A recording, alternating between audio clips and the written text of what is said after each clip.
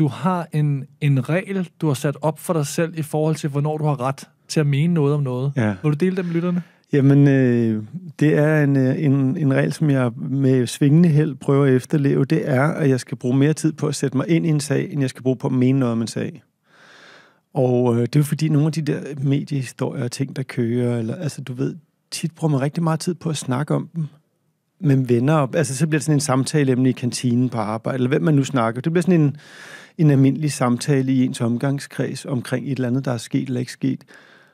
Og nogle gange slår det mig bare, at jeg har jo ikke læst de ting ordentligt. Jeg er jo ikke inde i dem. Jeg, jeg sidder jo bare og snakker om dem, fordi jeg har taget en hurtig beslutning ud fra sådan et 30 sekunders analyse, øh, ud fra hvad jeg plejer at mene om noget. Ja.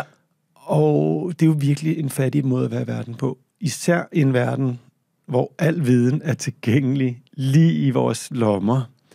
Så ikke at gide at bruge tid på at sætte sig ind i det, men bruge en masse tid på at mene noget om det, det er jo virkelig sådan en forbrydelse mod øh, logikken og mod, øh, altså nærmest mod menneskeheden, har jeg lyst til at sige. Det er lidt forkert sagt, men altså, det er jo at leve som en idiot.